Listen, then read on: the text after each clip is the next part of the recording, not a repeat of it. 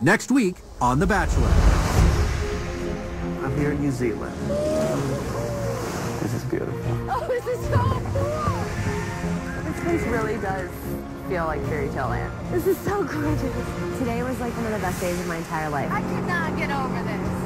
I'm happy. It feels really good to know that this is where I'm supposed to be. I feel like I'm totally falling for you. Today was like one of the best days of my entire life. I haven't felt this in a long time. I'm still having a hard time with what happened in Vietnam. You caught me off guard. I need answers. Did we do anything inappropriate? That it didn't feel right to me. Everything blew up in my face. The second he's not feeling it with you, mm-hmm. you're gone. Oh my god, he's alone. There are some women here that I'm still not clear. At the end of the day, it's my life. Obviously, this isn't ideal for me. It's tough for me to not be in control. I just sort of feel like this process is just a little inorganic for me. I do not feel like Juan Pablo fully understands me. She has emotional highs and lows, and that's not healthy. I think it's best if I leave.